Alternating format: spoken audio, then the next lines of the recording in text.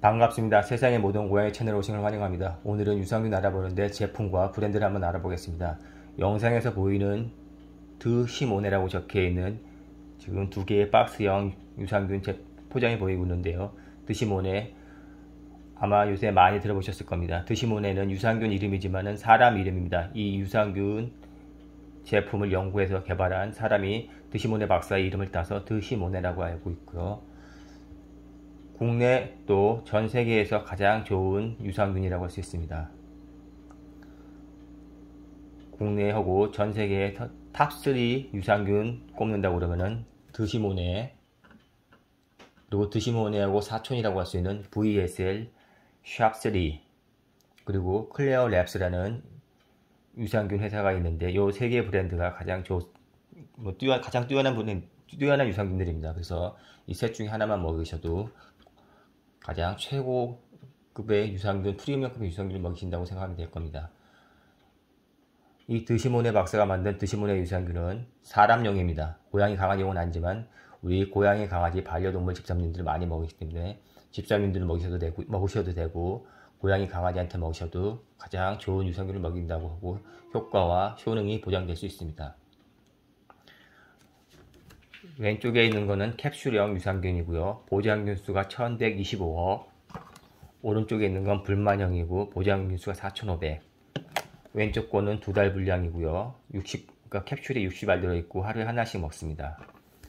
오른쪽 건 4500은 분말용이고 한 달 분량입니다.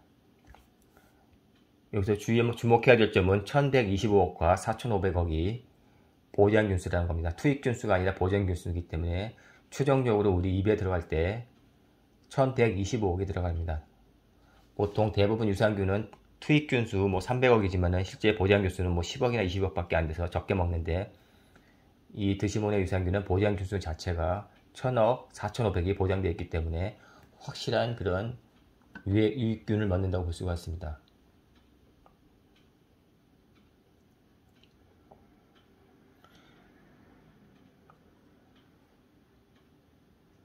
이 드시모네가 좋은 점 두 가지를 설명드리면은 강아지한테 또 고양이한테 사람한테 좋은 점은 신부전의 경우 고질소혈증 그 BUN 번이 발생하는데 이거를 예방해주는 균주가 세 종류가 들어 있습니다.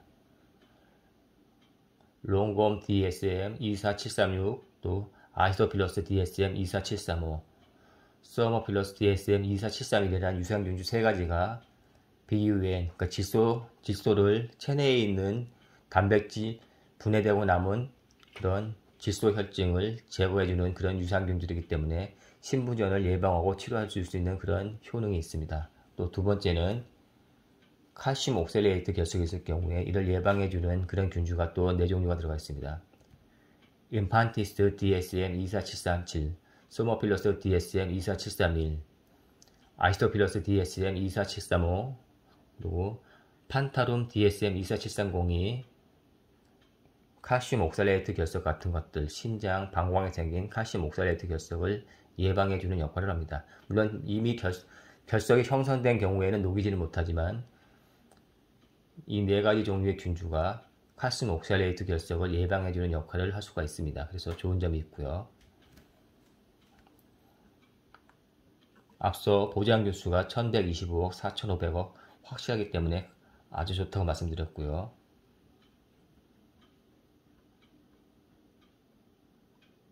보통 하루에 캡슐형은 하루에 한 알, 그러니까 성인 기준입니다. 사람들 성인 기준으로 캡슐형 하루에 한 알 1125을 먹는 거고 분말형은 4500을 먹는 겁니다. 그럼 고양이 강아지를 얼마나 먹어야 될까? 그거는 기준이 없습니다. 기준이 있다면은 설사하기 직전까지가 제일 좋은 기준이 됩니다.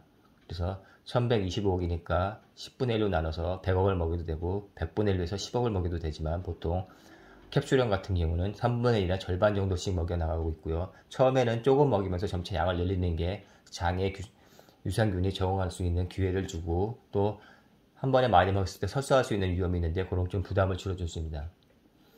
유산균이 다 좋지만 만약 설사, 복용해서 설사한다면 양을 줄여주시는 게 좋고 양을 줄여도 계속 설사한다면 그 유산균주는 맞지는 않습니다.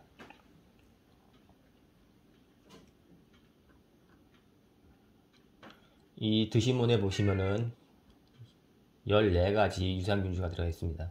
그래서 다른 다른 회사 제품의 유산균보다도 상당히 많은 양이 들어가 있고요. 보통 Lactobacillus paracasei, Lactobacillus plantarum, Lactobacillus bulgaricus, Lactobacillus acidophilus, Bifidobacterium breve, Bifidobacterium longum, Bifidobacterium infantis, Streptococcus thermophilus 이렇게 8가지 균주 이렇게 들어가 있고요. 각각의 균주 역할들이 있기 때문에 보통 우리가 유산균 구매하는 요령으로다가는 다양한 균주가 있고 보장 균수가 확실하고 균주가 많아야 된다 그렇게 말씀드렸는데 이 조건을 충족하는 게 드시모네 유산균입니다.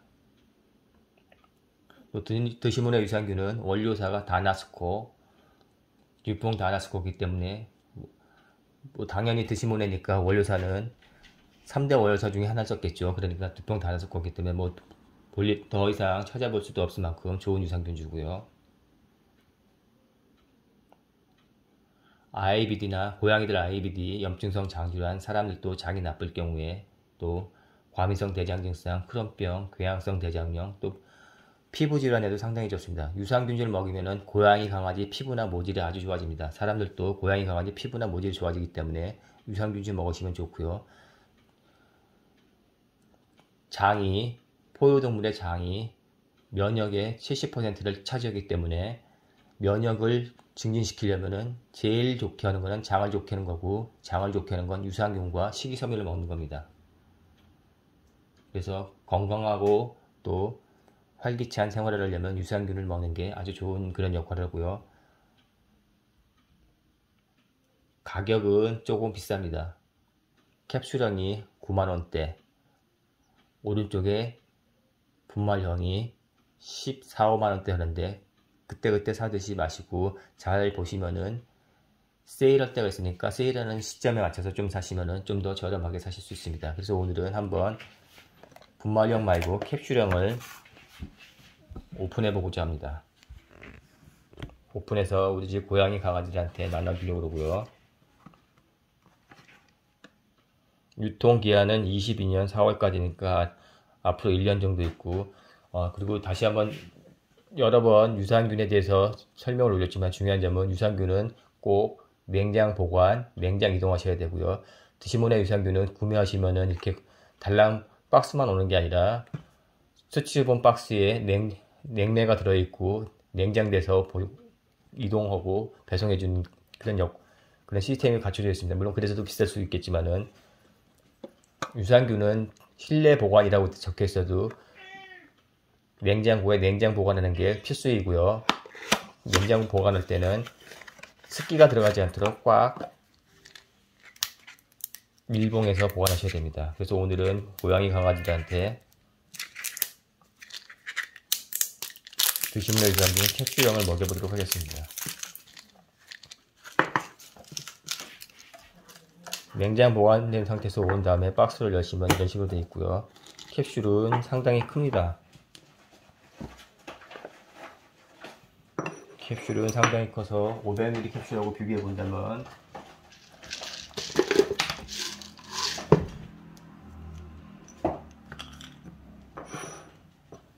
왼쪽에 드시문의 유산균하고 오른쪽에 500ml 공캡슐인데 거의 두 배 정도 차이가 나기 때문에 고양이들, 강아지들 그냥 못 먹이고 나눠서 먹이셔야 되고요. 아니면 사료에 뿌려주셔도 됩니다.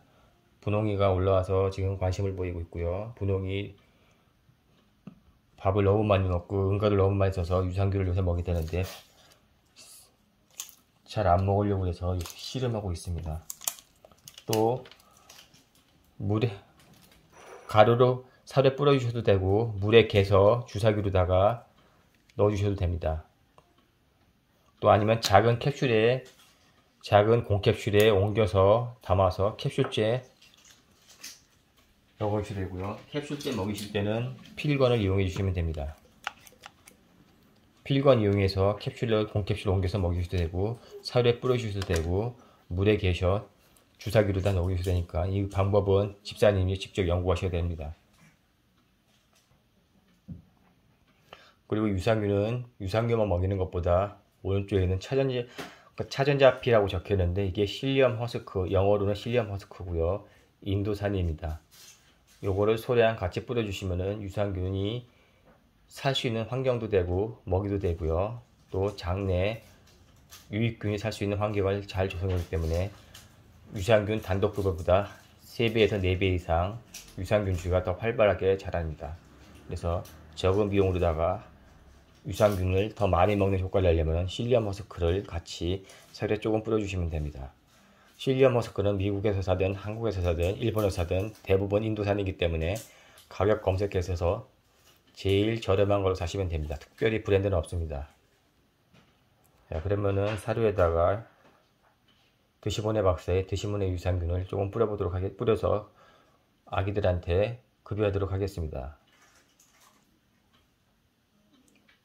우리는 담요 과정이라서 드시보네 유산균 1125캡슐 한 캡슐을 10마리한테 나눠 먹이겠습니다.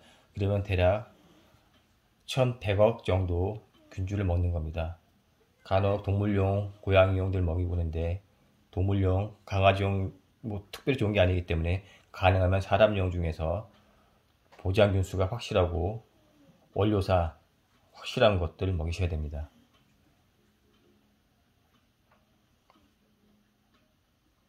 한 캡슐만 해도 100억이 넘, 1000, 그러니까 1115니까 10마리만 나눠 먹어도 100억 이상 먹는 거기 때문에 균은 충분히 먹습니다.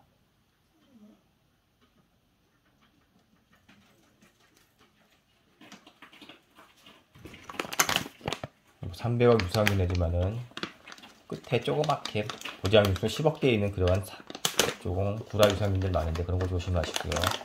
그리고 세상의 모든 고양이 채널에 다양하게 유산균주 먹는 법들 올려져 있으니까 보시고 고르는 법들로 올고 있고요. 오늘은 세계에서 가장 좋다는 드시문 유산균 한가인이 선전하고 있죠. 한가인이 선전하는 드시문 유산균을 이건 오픈해갖고 고양이 강아지한테 구하고 있고요. 분홍이가 지금 사료를 몰래 훔쳐 훔쳐먹고 있습니다. 세상의 모든 고양이 채널에 올린 영상들 좀 더 자세히 보려면 네이버 카페, 세상의 모든 고양이 카페나 블로그에 올라오셔갖고 자료들 참고하시면 도움이 될 겁니다. 유산균 그냥 뿌려줘도 지금 분홍이가 먹는 거 보니까 기호성은 상당히 좋아서 거부감 없이 먹을 수 있습니다.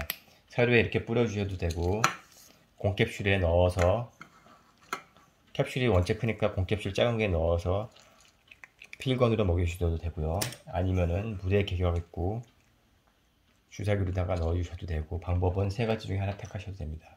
자 이상으로 한번 다시 한번 애기들한테 나눠주겠습니다.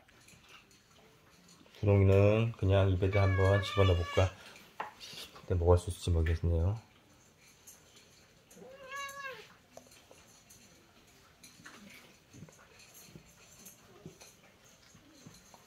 반항이 아주 심하고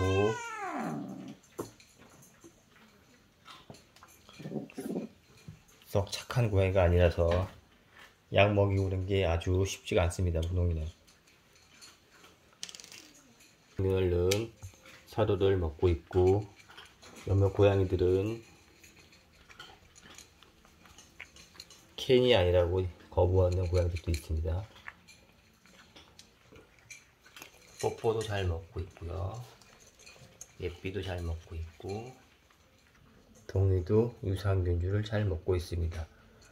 사료에 뿌린 유산균이기 때문에 뭐 크게 양이 많지 않습니다. 10분의 1로 나눴기 때문에 양은 상당히 적은 분량이라서 조그만 캡슐에 넣고 다른 것들 여러 가지 섞어주시면 괜찮을 겁니다. 10만원 가까운 비싼 유산균이지만 효과는 좋으니까 모셔도 되고요. 만일 이 유산균이 계속 먹여도 설사한다 그러면 균주가 맞지 않기 때문에 아무리 드시모냐라고 해도 다른 유산균주로다가 바꾸셔야 됩니다.